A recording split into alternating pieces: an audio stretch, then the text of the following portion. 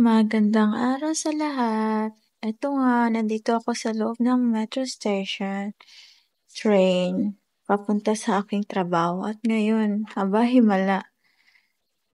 Ako lang dito mag-isa at sa gilid ko may isang babae, hindi masyadong puno at wala nga tao eh, hindi masyadong puno. so, ganito lagi akong ginagamit ko papuntang work, nagme-metro station ako para makatipid sa pamasahe. Ito ang metro station dito sa Qatar. So, mula sa sa bahay ko, gumagamit ako ng dalawang metro station for for um 22 minutes travel to be there in my work. So, ayan. Ito lang sa metro station. Naisipan kong mag-video kasi hindi ba boring.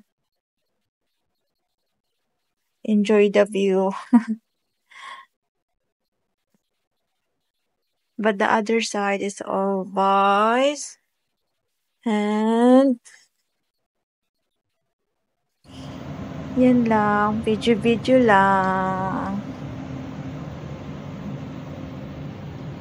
Kasi napaka-boring. So, video-video lang para hindi ko pa kasi nabibidyohan yung mga kung paano ako pumunta sa work ko. So, ito, nag-video ako. Then, nandito na ako sa hotel, sa work ko, nandito ako sa locker.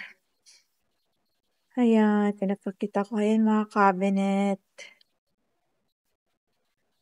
Then, pagdating ko, susuot na ako ng medyas saka sapatos, tapos mag-ready na.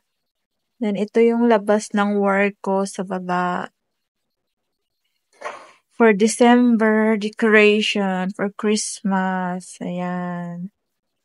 Lightning sa gabi. Yeah. Katara. Yan. Enjoy the view.